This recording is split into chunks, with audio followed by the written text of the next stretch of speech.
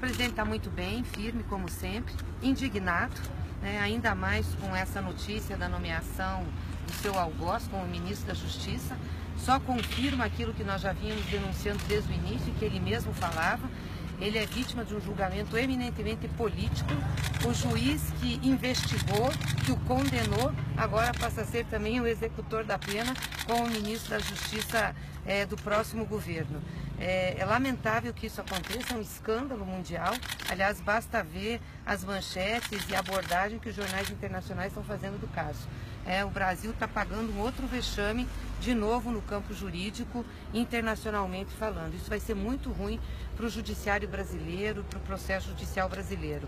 O processo do presidente Lula está eivado de vícios, ele, ele é, recoloca de novo qual é a prova da minha prisão aqui, por que eu fui condenado, mas na realidade o próximo ministro da Justiça foi aquele que ajudou Bolsonaro a ganhar a eleição. É, impediu o presidente Lula de ser candidato. Durante o processo eleitoral soltou uma delação do Palocci que não estava não tinha sido homologada para fazer é, debate político. O Ministério Público entrou também nessa vibe para fazer debate político.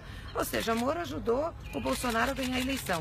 E ficamos mais estarrecidos em saber que o, vice-presidente, né, o vice-presidente eleito com Bolsonaro, atestou hoje no jornal que o Paulo Guedes já tinha convidado, ou já tinha feito acertos prévios com o juiz Sérgio Moro para ser o ministro da Justiça antes do primeiro turno. Ou seja, as coisas foram encadeadas.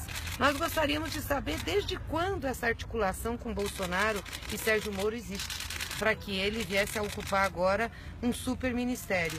Ou seja, o algoz de Lula está no Ministério da Justiça. É, nós estamos é, reforçando o pedido para que o CNJ paute a denúncia que fizemos como bancada do Senado e da Câmara para investigar o vazamento do grampo que eles fizeram com a presidenta Dilma para impedir Lula de ser ministro. Eu creio que desde lá essa articulação está sendo feita, entendeu? Para desestabilizar e impedir que Lula participasse das eleições. E estamos pedindo para adendar essa denúncia no CNJ exatamente com os fatos recentes da campanha e agora com essa situação em que Sérgio Moro é alçado a superministro da Justiça. Nós consideramos isso um escândalo.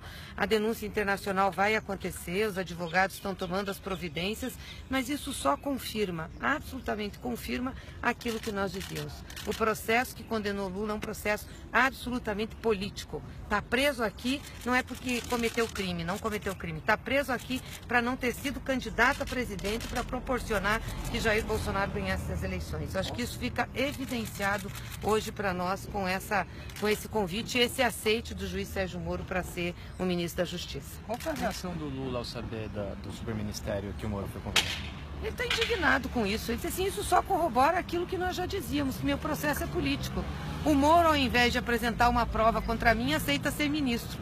É exatamente comprovando a nossa tese de que me condenou por um PowerPoint, me condenou sem ter fato concreto é, e que estava a serviço de uma causa política. É isso que está em jogo. Eu quero que me digam por que, que eu estou preso aqui, qual é a prova.